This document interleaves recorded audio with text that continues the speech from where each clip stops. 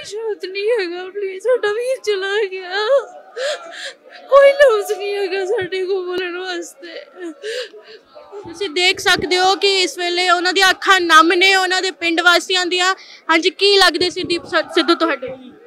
ਅਸੀਂ ਕੁਝ ਨਹੀਂ ਬੋਲ ਸਕਦੇ ਬੋਲਣ ਜੋਗਾ ਛੱਡਿਆ ਨਹੀਂ ਸਾਨੂੰ।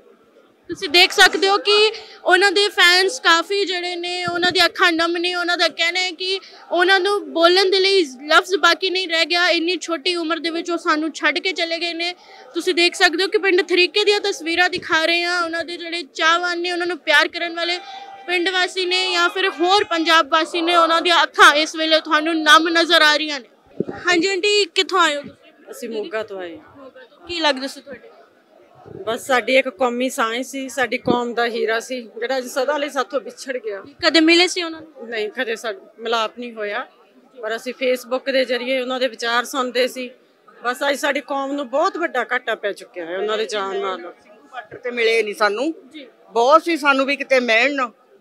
ਪਰ ਸਾਨੂੰ ਉਹਨਾਂ ਨਾਲ ਪਿਆਰ ਹੀ ਇੰਨਾ ਸੀ ਸਾਡੀ ਕੌਮ ਦੀ ਗੱਲ ਕਰਦੇ ਸੀ। ਕਿਹੜੀਆਂ ਅਜਿਹੀਆਂ ਗੱਲਾਂ ਨੇ ਜਿਹੜੀਆਂ ਤੁਹਾਨੂੰ ਇਸ ਵੇਲੇ ਉਹਨਾਂ ਦੀ ਯਾਦ ਆ ਰਹੀਆਂ ਸਾਨੂੰ ਸਾਰੀਆਂ ਹੀ ਯਾਦ ਆ ਰਹੀਆਂ ਨੇ।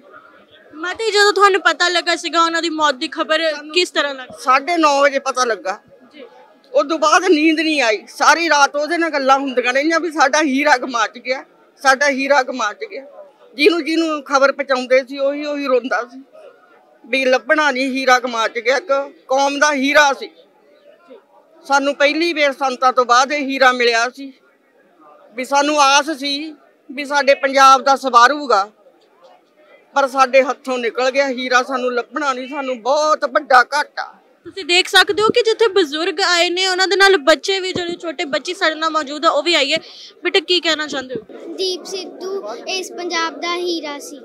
ਤੁਸੀਂ ਦੇਖ ਸਕਦੇ ਹੋ ਕਿ ਜਿੱਥੇ ਬਜ਼ੁਰਗ ਇਸ ਵੇਲੇ ਜਿਹੜੇ ਭਾਵੁਕ ਹੋਏ ਹੋਏ ਨੇ, ਉੱਥੇ ਬੱਚੇ ਵੀ ਜਿਹੜਾ ਦੀਪ ਸਿੱਧੂ ਦੇ ਜਿਹੜੇ ਅੰਤਮ ਦਰਸ਼ਨਾਂ ਦੇ ਲਈ ਪਹੁੰਚ ਰਹੇ ਨੇ। ਤੁਸੀਂ ਦੇਖ ਸਕਦੇ ਹੋ ਕਿ ਉਹਨਾਂ ਦੇ ਜਿਹੜੇ ਐਡੀ ਦੂਰੋਂ ਚੱਲ ਕੇ ਲੋਕ ਜਿਹੜੇ ਨੇ ਮੋਗੇ ਤੋਂ ਇੱਥੇ ਪਹੁੰਚੇ ਹੋਏ ਨੇ। ਅਸੀਂ ਗੱਲਬਾਤ ਕੀਤੀ ਸੀ, ਉਹਨਾਂ ਦਾ ਕਹਿਣਾ ਹੈ ਕਿ ਅਸੀਂ ਮੋਗੇ ਤੋਂ ਆਏ ਸੀ।